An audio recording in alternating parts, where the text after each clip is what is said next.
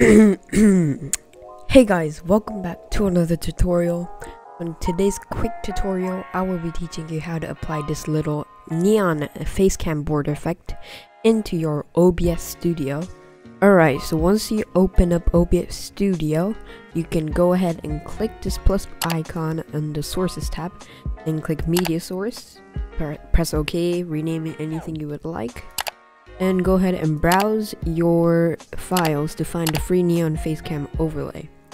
Alright, so once you click open, there's a few settings you want to change.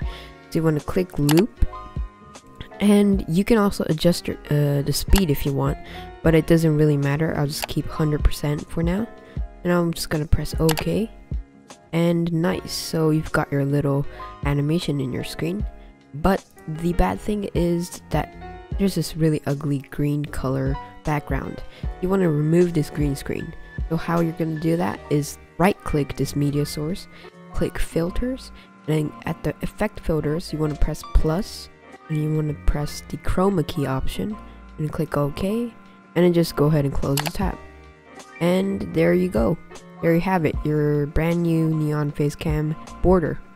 So you just want to adjust the size for your face cam and all that. Hope you guys uh, found this tutorial helpful. Make sure to subscribe and like the video if you guys enjoyed it and you want to see more tutorials like this. Yeah, I will see you guys in the next tutorial. Bye.